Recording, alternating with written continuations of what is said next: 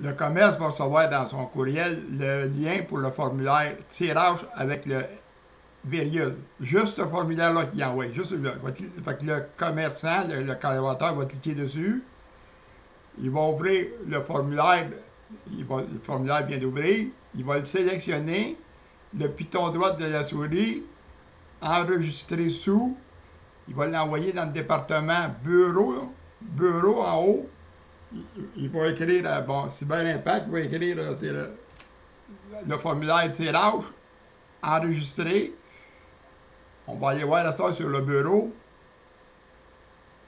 Fait que le formulaire de tirage est, il est enregistré ici. Fait qu'il va, il va être rendu dans son ordinateur. Il est placé comme ça. C'est pas plus dur que ça.